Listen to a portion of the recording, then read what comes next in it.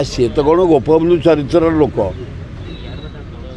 ଭାତ ଡାଲମା ଖଟା ଖାଆନ୍ତି ଆଇଁଷ ଖାଆନ୍ତିନି ଜଣେ ଭଲ ଶିକ୍ଷିତ ଲୋକ ଭଲ ଆଡ଼ମିନିଷ୍ଟ୍ରେଟର ହେଲେ କ'ଣ ସତରେ ଯୌତୁକ ଖାଆନ୍ତି ଆଉ ସିଏ କ'ଣ ତାଙ୍କ ବୋହୁ ଯୌତୁକ ପାଇଁ ଯନ୍ତ୍ରଣା ଦେଉଛନ୍ତି ମୁଁ ତ ବଡ଼ ତାଜିବି ହେଉଛି ଶୁଣିକି ଆଜିକାଲି ଘଟଣା ବୋଉ ଏମିତି ବି କହୁଛନ୍ତି ଶ୍ୱଶୁର ସବୁ ଜାଣି ଚୁପ୍ ରୁହନ୍ତି ନାଇଁ ନାଇଁ ଶ୍ୱଶୁର ତାଙ୍କର ସେସବୁ ଚରିତ୍ରର ଲୋକ ନୁହଁ ଭଦ୍ର ଲୋକ ସ୍ନେହୀ ଲୋକ ଶ୍ରଦ୍ଧା ଲୋକ ଯେତିକି ଆମେ ମିଶିଛୁ ଆଉ ଯଦି ସେ ଧନ ଫନ ଆଡ଼ିକି ଲୋଭ ଯଦି ହେଇଯାଇଛି ମୁଁ ବୁଝିଲେ କହିବି ମୁଁ କହିବା କ'ଣ ତୁମର ଏ ବୃଦ୍ଧ ବୟସରେ ଏତେ ଧନ ଦରକାର?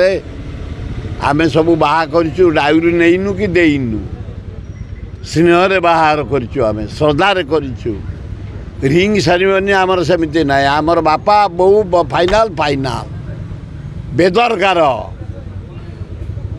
ତେଣୁକରି ଯଦି ଶଶିଭୂଷଣ କ'ଣ କରିଛନ୍ତି ସାନ ଭାଇ ସେ ଗୋଟେ ମୁଁ ତାକୁ କହିବି ତମ ଭଳି ଆସି ଗୀତ ଲୋକ ନାଁରେ ଏମିତି ଉଠିବାଟା ଉଚିତ ନୁହଁ ସମାଜ କଳଙ୍କିତ କରିବ ସୁଧାରି ଦିଅ ମୁଁ କହିବି ତାଙ୍କୁ।